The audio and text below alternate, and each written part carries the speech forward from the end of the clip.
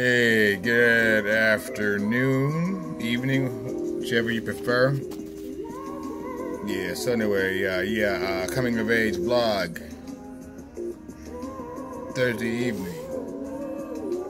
Yeah, I had, uh, I want to make a couple of corrections from a couple of days ago. Um, one from last night. I was talking about Belial and his company's with us called In the Spotlight. Look them up. They cover a lot of entertainment around the Bay Area. Belial. And TC. TC is his name. The, the guy that worked with Grady Wilkins. TC. Yeah, I had to correct that. You sing your moments, okay? You forget. You think you know. But if somebody came back and tell you if I made a mistake. So anyway. I was just looking at um, Will I Am. He's crying. His, his heart is broke over Kanye statement.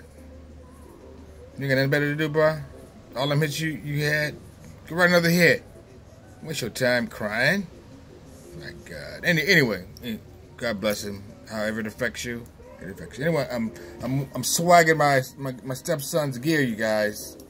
Vully, look him up. Uh, I think you told him how to look look him up. They got a website. You got a Vully website. It's called Occupy Fashion.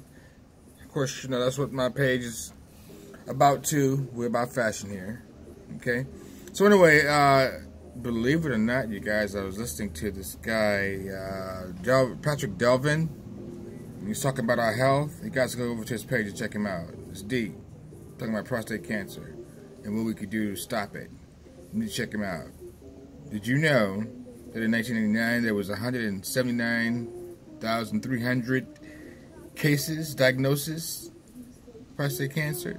And do you know that same year, 37 died? And it's highly uh, Afro-Americans who's getting it because of our diets, eating the fats. Listen to his page, Patrick Delvin. So on my page, we're going to do a lot of everything. About money, we're to be about health. We're going to be about making money. We're to be about everything on my page because as I find out, I'm to give it to you because sometimes things just hit me.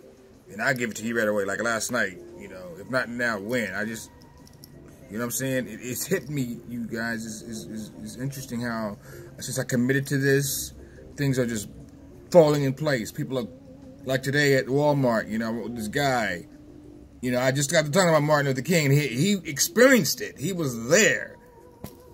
12 years old. I'm 69 now. Survived it. I got to get his last name. I'm, I'm going to get him on here. He's, he's another shy one. I was like, you know, hey, can I interview? Oh, no, no. Just Google it dude, I want to know you. But people should know you. You experienced it to give us some.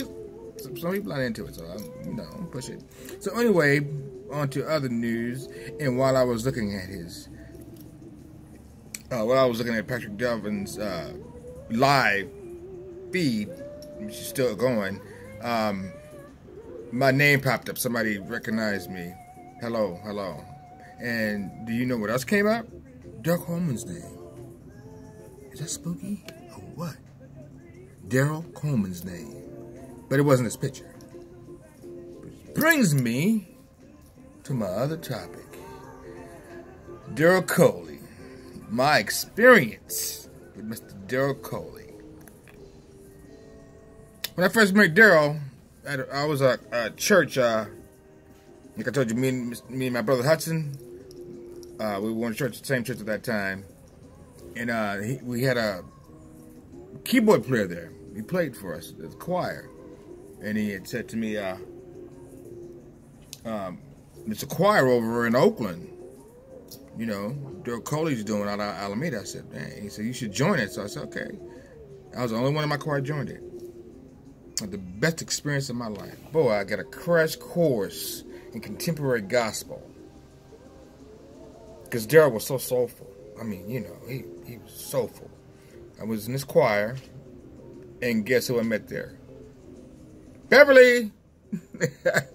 my oh my God, my ex-wife, my kid's mother. That's who I met her, in that choir.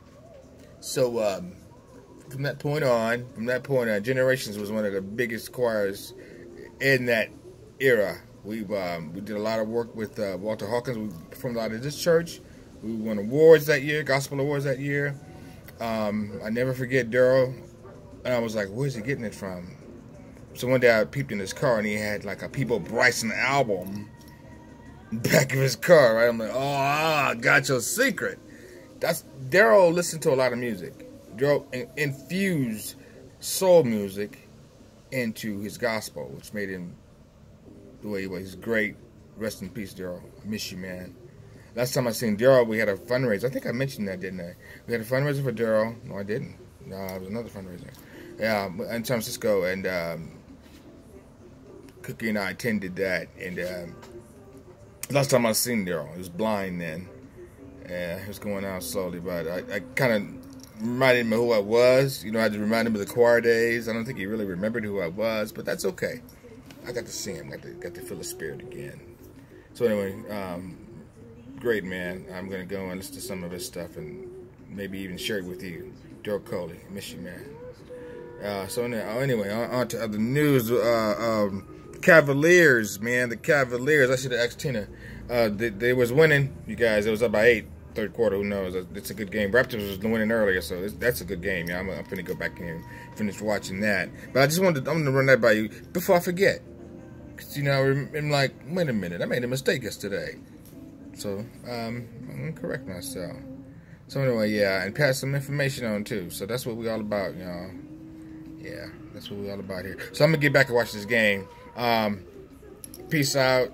The Warriors coming back up tomorrow, I guess. So, you know, I'm going to check out LeBron. That's what are you going to do? All right, peace out.